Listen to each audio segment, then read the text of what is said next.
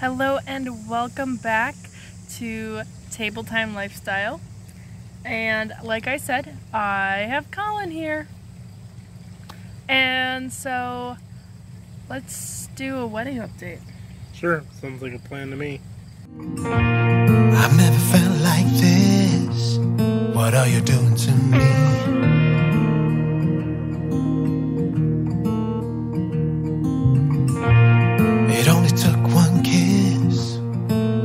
That you're everything I need. Everything I need. Okay, so we've done uh, two bridal showers. Uh, my family hosted one, and Colin's family hosted one.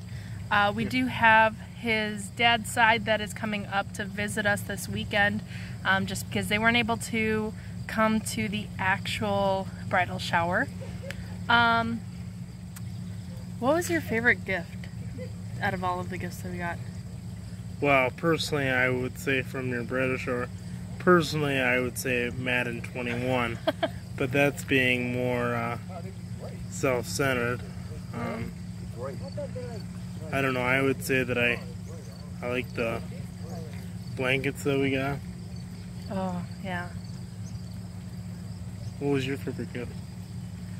I I guess I had a couple favorites um, from my first bridal shower. I really like um, Oh yeah, from your yeah. I was talking the most recent one from your first bridal shower. oh I would say my favorite gift would have been um, the games that we got. oh from Shan- Man- the Mancala and stuff Yeah. from Chantel. Um, So Chantel, if you're watching this from northern Minnesota, Colin learned how to play my Mancala recently. um, well, from that shower, I think it'd be probably the Mr. and Mrs. stuff. It came from a few different people. Um, we have little, uh, we have uh, tumblers that say like Mr. Nelson's, Mr. Nelson and Mrs. Nelson. Um, we have those other can koozie tumblers that, uh, or can koozies that we're gonna label. Um, yeah, I guess that gift, they're really, it's a really cool gift, you know, with everything Mr. and Mrs. Like, I will always be Mr. Nelson, but but until I get to change my yeah, name. until October second, it's not quite Mrs. Nelson, unless we're talking about the other millions of Mrs. Nelsons around the world. But there are some, uh, there's some very useful gifts too. Mhm. Like we've uh, we got a cast iron pan that we've used almost every week since we got got it. Haven't put it in the dishwasher. Absolutely not. not putting that thing in there. Um, but also from that second shower, I think, you know, spiritually wise, I really like having that family Bible. Um, so the wedding Bible, and it's From Grandma Marie. yeah, from Grandma Anne Marie, and it's personalized. Uh, but I also really like the the engagement book from Grandma Karen Oh, beautiful, beautiful. because so she made. I'll you know we'll record a video of it just to so you can see it. Um, but she made this scrapbook um, that's got all of our engagement photos uh, from the session my sister took, the session when we just went out with my camera and used timer at Shells, and then also when Rain took our pictures uh, professionally, so our wedding photographer. Um, so to have all of those photos in a, in a book and you flip through it, and it's just fun to look through. We have it on the coffee table right now. Um, and it'll probably, you know, it'll probably stay in that area so that, you, you know, when you're just sitting around, you can pick it up and flip through it. I flipped through it a couple times already um, while cuddled up in a nice blanket. Um, so those, I guess, are some of my favorites. There's definitely, there's so, there's been so many useful gifts um, and helpful gifts, and of course, like Madden and being able to, to, you know, sit down and play games. It's been pretty cool. Um, what are you looking forward to um, in these next preparations for our wedding?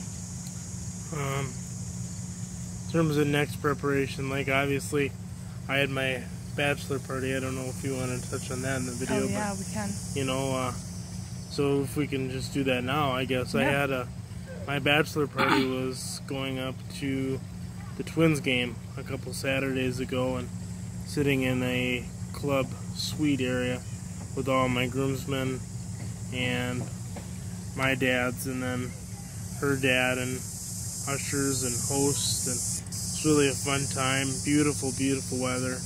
Um, twins won. 12 to nothing so it definitely helps when you're on the right side of the of the game. You're not cheering for the team who's behind at the end but it was really fun. And then I know that uh, if you want to talk about your upcoming bachelorette party on Yeah. the 18th Uh, so yeah, my bachelorette party is coming up. Um, me and my bridesmaids are just gonna go and have fun at a resort. So we're just gonna we're going to a water park.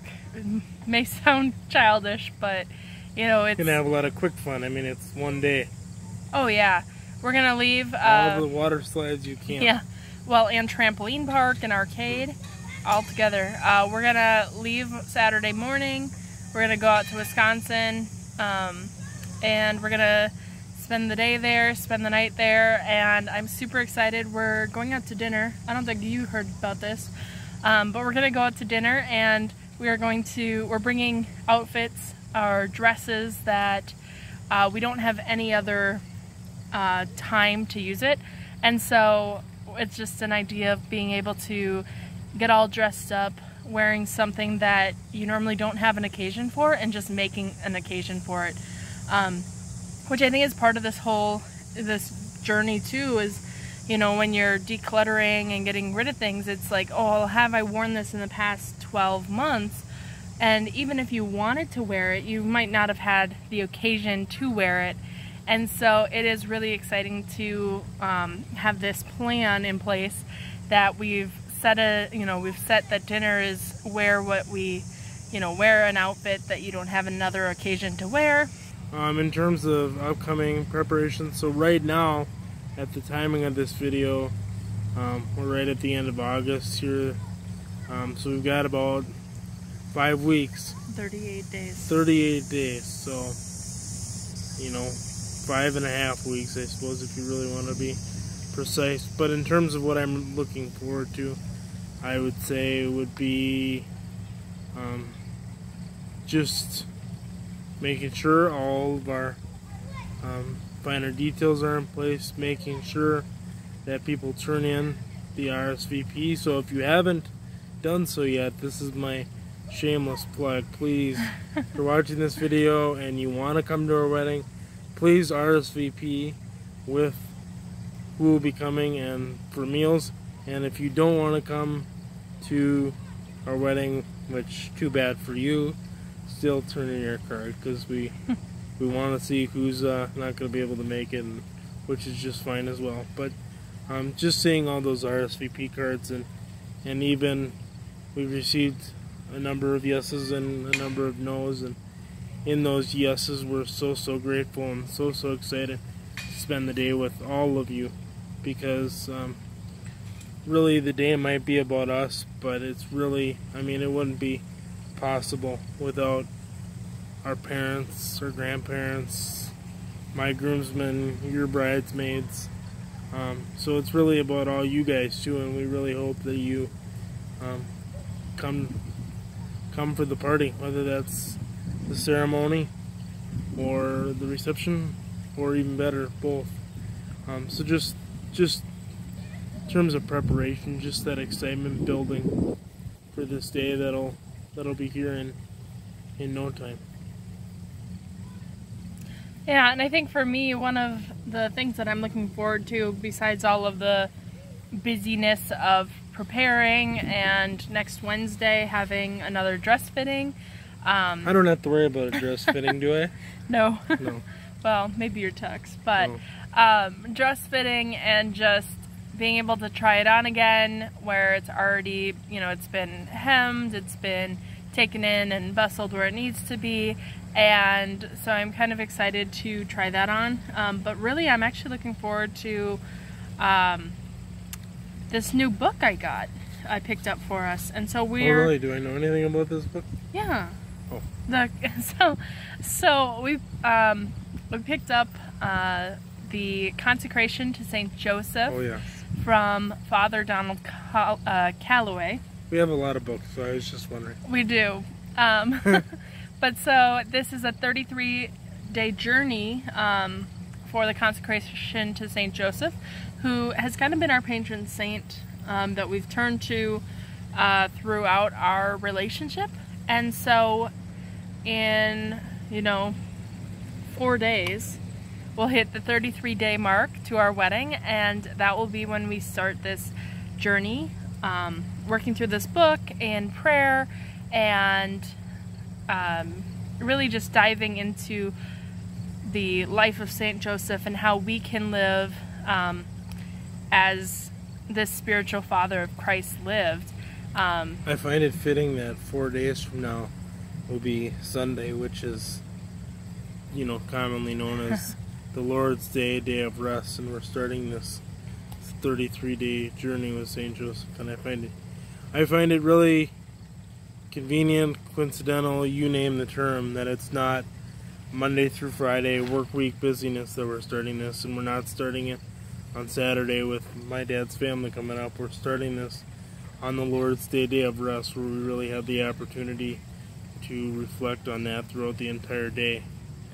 Yeah, and another part with it is how we've done what two, three book studies through our relationship now, um, and we've been doing, you know, we we're doing Saint Joseph Challenge and things like that, and so just this spiritual reading has been very important in our journey together, um, and I suppose one of my favorite books became kind of one of your favorites with Walking with Mary, and hopefully this consecration uh, to Saint Joseph and the readings that we'll read along the way um, also will provide that spirit, spiritual nourishment um, for our relationship.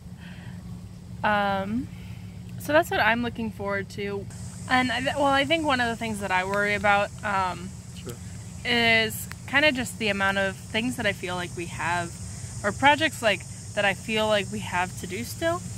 Um, and I don't, I wouldn't say that there's a whole lot of them, but it's like we started.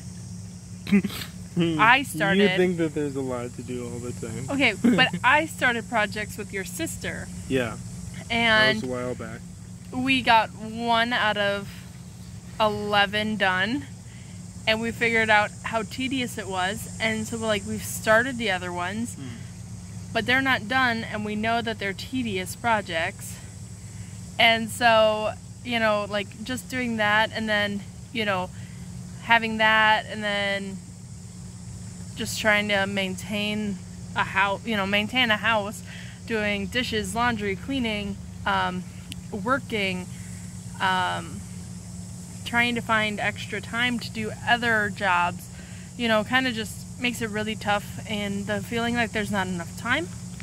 Um, but being able to also remember that we have to take time. So uh, hopefully you guys can hear us because we took time today and we actually we went out to the park um, so that we could have some time away uh, instead of just like being around the apart you know being around the apartment or going to visit other people or hanging out with other people but just to take this time um, to sit out here in the park with the water running and the bugs making noise.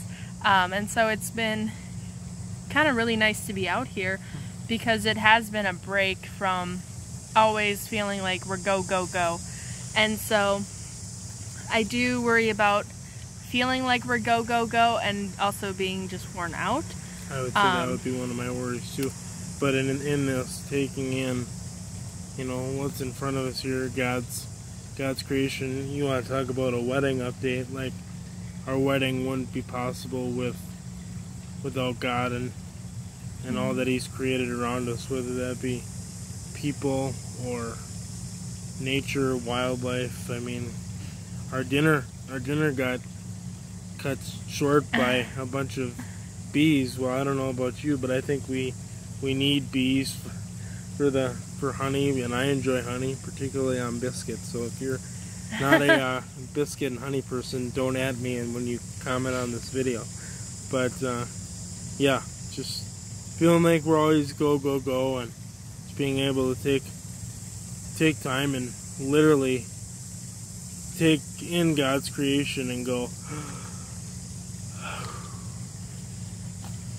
And there, it is. I mean, a breath of fresh air, literally and figuratively, as I have another bee by my walker here that kind of makes me apprehensive. But And then, how about what's something that you're looking forward to in a marriage, in our, you know, wedding? I think for me, one of the things I really look forward to um, in the actual wedding celebration is um, that reminder that we're we're entering not only just a so it's not a civil union, it's a sacrament of the church. Um, and how amazing it is to uh, know that we're going to be spending time with our family and our friends who are there to witness that um, sacrament, but also just as we as we went through our marriage prep, um, it was always amazing when we were talking and learning about you know more about what the sacrament means and where it relates to um, how it relates back to the Bible and how how our lives will still replicate those stories and those um, teachings in the Bible. And so, you know, that idea of in Genesis being from man, um, and that it's also that reminder, like that God created us to be together. Right. Um, it you know one of the those amazing pictures of in like the Sistine Chapel is um, Adam and God, and we're like they're not exactly sure if the fingers are touching or not. Um, but like when you look right behind God, um, over his shoulder, you see the image of the woman, right, and you know that reminder that those fingers they must be touching because you know the idea that God's it's God that put his finger into our life to put us together. Um, but also as we reflect on our readings and pick out our readings, um, which we could do that and we could do another update when we can actually have the readings in front of us and people can hear. Um, but like as we picked out these readings, you know, that reminder too that we're called to love as Christ loves um, and to serve as Christ serves. And so it's been really great to have this, you know, this preparation time to think about how that's really going to impact our future and how we set goals um, in our life and what we want to do that that fit what that calling is. right. How about you? Well, in terms of what I'm looking forward to in the marriage, well, I mean, obviously the reception, so I can break out my dance moves. Um, but kind of going off of what Amanda says, I'm just looking forward to uh, the ceremony in general and um, knowing that Christ will be with us. Um, not only during that ceremony, but each and every moment um, after the ceremony, like He is with us right now. Um, you know, in the vows, sickness and in health, you know, richer for poor, you know, that I will love you, Amanda, regardless, and and through that, it's it's Christ centered, and I think that's a good example. I mean, I hate to put it this way, but you know, we've we've endured a lot of hardships, particularly one that's still going on right now, and that's the invisible beast of COVID 19 and how we've kind of already started that sickness and in health, richer for poor, you know. Um, but in terms of the ceremony, just knowing that Christ is there with us and for us and believes in us because, as we know, love endures all things, it believes all things. And I forget the other half of the, of the line of the reading. But we'll do another update when we have that those readings in front of us so I can give you the full line. But uh, yeah, I'm looking forward to it for sure. Before my hand completely falls asleep, because we, as I said, we are outside, and so I am holding my phone uh, to do this. Um, why don't you? Do you want to close us in a short prayer and? Sure. Is your hand tingling? How short do we need it to be? Do we need it to be the Heidi First Special of Glory Be? No, we can. Okay. You can do a little more. Okay. All right. Maybe the sign of the cross with it too. In the name of the Father and the Son and the Holy Spirit. Amen. Dear Lord, we thank you for um, the time that we've had together, both us two and our millions watching around the world in this YouTube video.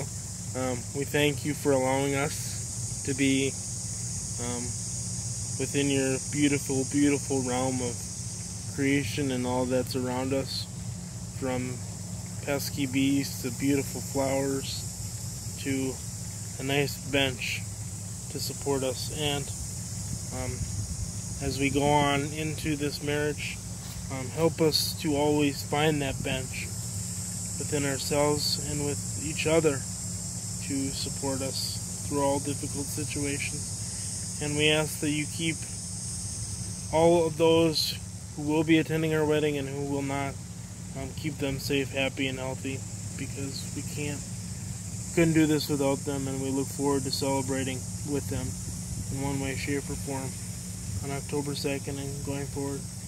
We ask these prayers and all that we um, entrust verbally, silently, out loud to Mother Mary and through the intercession of Saint Joseph as we pray. Our Father, who art in heaven, hallowed be thy name.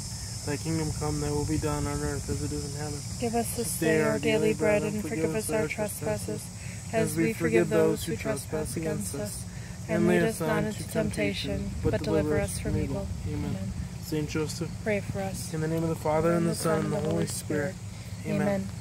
So thank you again for joining us, and hopefully we'll have a new update for you soon. See, I really was holding that phone. um, and so We need a support for that phone. I have one. I know you do. Um, We need another one. Put it on the registry. but we will but we will give you another update with our reading soon and until then know that you are in our prayers and that we love you Bye, everyone. bye